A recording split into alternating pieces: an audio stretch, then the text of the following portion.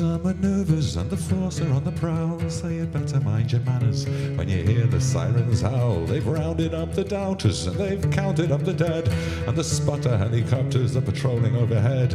For the jackboot Democrats are parade. They're the ones who made of money and the ones who got it made. The top brass, the upper class, highest of the high. You can watch them on the giant screen that's blocking off the sky.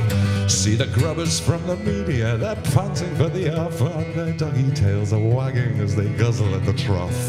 They've learned the trick of sitting up and begging while they wait for a tasty little tidbit from the tables of the great. And the jackboot Democrats, loath to spare the rod, exchanging toasts with ministers, comparing notes with God. It's here a stern injunction, there a hefty fine, so that wealth is kept in power and the poor are kept in line. See the coffin load of judges, legal guardians of the state. See their winged and robed cadavers as they slowly levitate. Conjure from their spitting tongues and gaping mouths of fire, plastic bullets, rare truncheons, rare shields, and razor wire.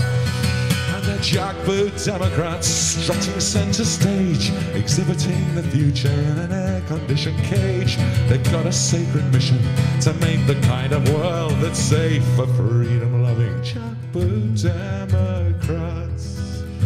And I can't remember any more of that. But let's tip my hat to Leon.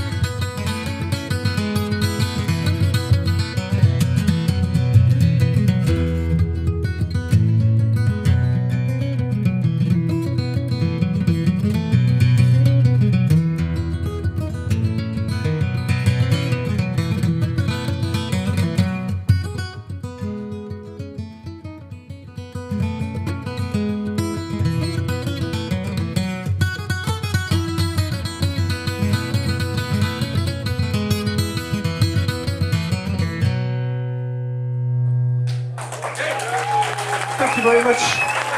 See you again.